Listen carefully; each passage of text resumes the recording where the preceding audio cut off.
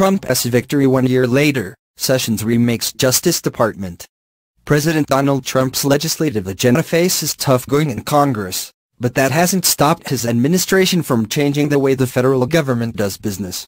Few agencies have changed as much, one year since Trump's victory at the polls on November 8, 2016, as the Justice Department.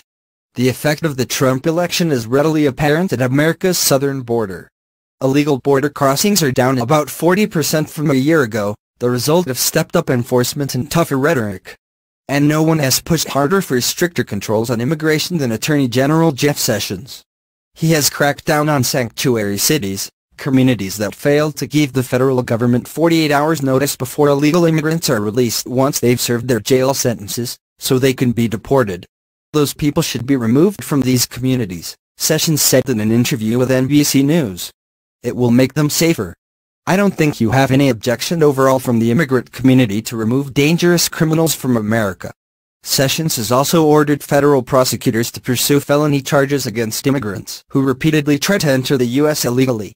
And in July, the Justice Department urged speedier action from the nation's immigration judges, who decide cases brought by people accused of entering the country illegally and who face deportation orders.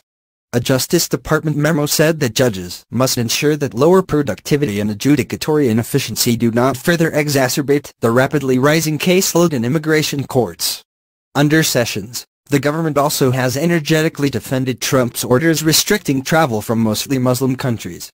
Though pared back by the courts in response to vigorous opposition, they nonetheless reduce travel by immigrants and refugees. Reversing an Obama administration policy, Sessions has directed prosecutors to seek the most serious possible charges in drug cases, even involving low-level offenders. This change in charging and sentencing is especially needed to address some of the factors driving the increase in violent crimes, including the epidemic of opioid and heroin abuse in our country, Sessions said. But Eric Holder, who is Barack Obama's attorney general, called it a mistake.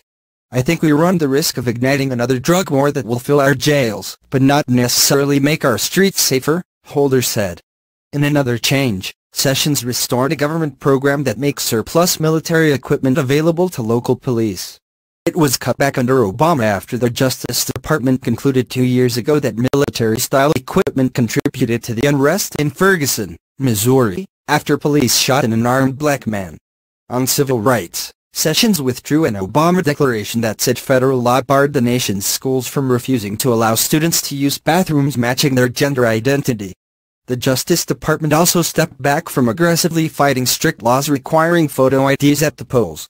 And he signaled that the government would be less active in launching investigations of local police departments accused of racially discriminatory practices, arguing that the inquiries complicate the local crime-fighting mission. Though Trump has publicly criticized Sessions for taking himself out of the Russia investigation, no cabinet member has been more loyal to the president or more determined to carry out the Trump agenda.